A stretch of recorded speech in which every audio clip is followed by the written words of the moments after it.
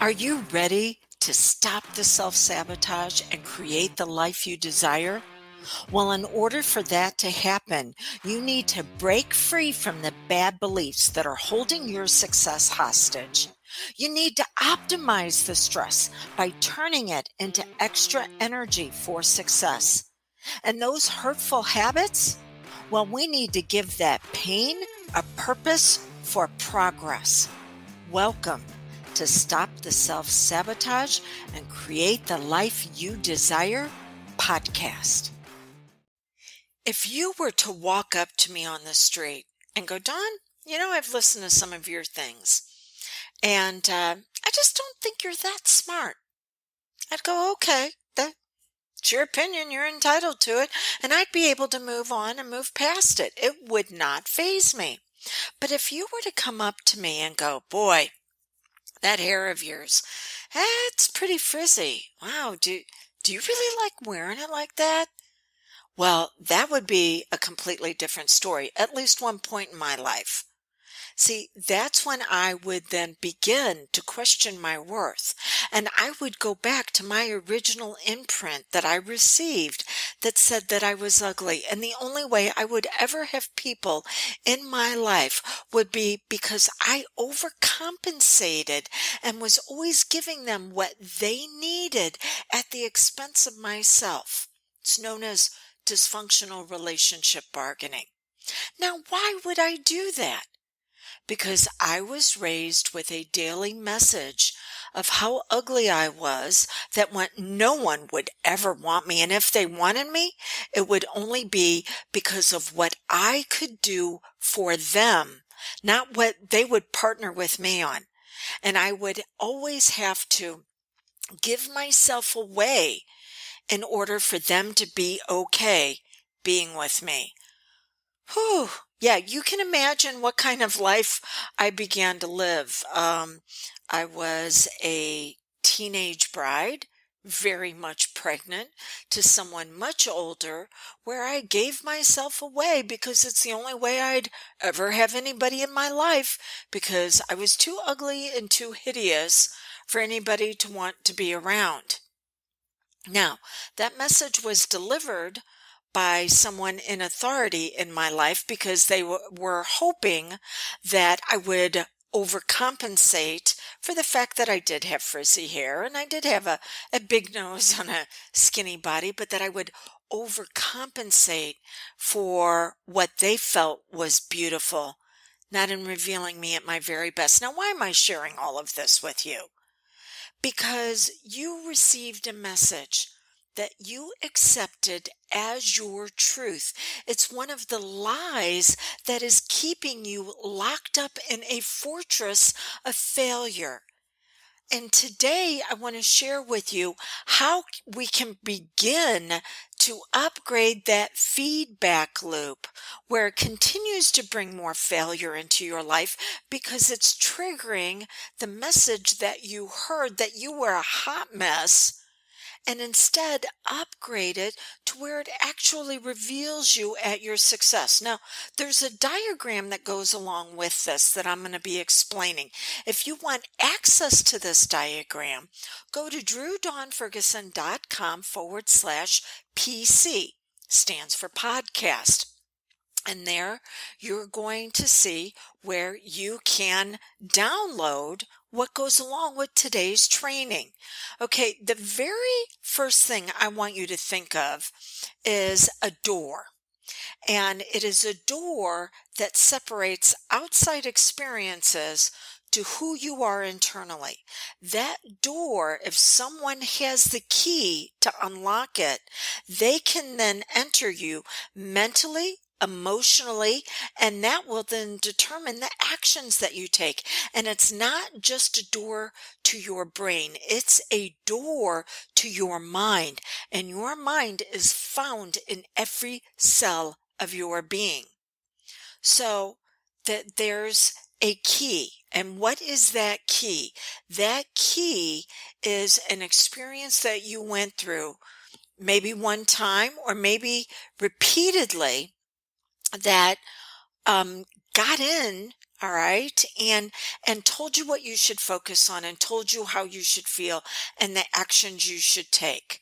So it, it determines whatever has that key determines whether it's on the outside and stays there or whether it's allowed in. So the very first thing you want to think of is you need to change the locks that what's out there can no longer get in. This is the reason why I love hypnosis because it's able to change those locks. But if it does get in, then what's the second piece to this? Well, now it gets into what's known as your garden of growth. And you move into a forest in that garden. And it's the forest of either fear or faith. So whatever got in is going to determine whether you go into a fear state and you go into the lowest levels of processing in your brain based on fear and how you need to get away from that fear or whether you're going to use it as faith strengthening because it's actually going to bring you out at your very best. That whatever's on the outside, if it gets in, we now have a choice which direction is it going to go. Now, based on the um, the the direction that it goes, is then going to lead to production of fruit. See, every experience that's on the outside that gets on the inside and tells you what to focus is then going to determine how you're going to feel based on the hormones and the different chemicals that your body is now producing that goes along with those emotional states. You go into fear, you have to produce fear chemicals. You go into faith. Say that we've upgraded it and that experience comes in and it actually brings you out at your very best, then your body is going to produce chemicals that are going to reveal you at your strongest. Now, once those chemicals are produced, you go into the library of harvest. And this simply means that your powerful mind then writes down a record. And that record says, when something on the outside gets on the inside, we either go into fear or into faith. And then that produces chemicals. And now we've got a record of all of this. So the next time we get triggered, the next time that door gets open, it happens either faster, quicker, easier.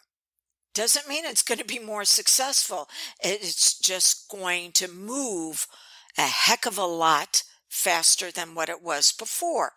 Then, after it's been notated in your library of memories, now you take actions. You take actions to either avoid that pain, to suppress it, to repress it, to distract yourself, or you take actions of amplification, bringing your talents, your abilities, and your strengths out.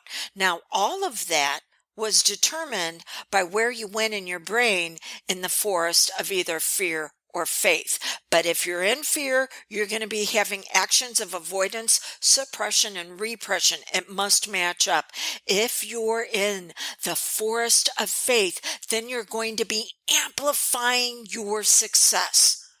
And then at the very end of all of this, you go into what's known as a feedback loop. And your powerful mind says, hey, whatever that was on the outside was on the inside. Did it go to the appropriate place in the forest? Was there a production of fruit? Did we create a memory around it? Did we then take actions of either avoidance or amplification? If everything lied, lined up, then we got a feedback loop that is successful. Not successful as in getting us the results that we want, but successful that everything lined up with pain. So the next time we experience it, it's going to bring us even more pain. Or everything lined up with progress. The next time we experience it, we'll have even more progress. So, what's all this mean to you? This means that in one thousandth of one second, when you experience something that has triggered you in the past, you're going to go through all of this. So you either have to change the locks on the door or you have to change the meaning of what was on the outside once it gets on the inside. It is time for faith. It is time for the chemicals that are bring you out even stronger. It is time for the memories of magnificence. It's time for the actions of amplification, and that is the feedback loop of fulfillment.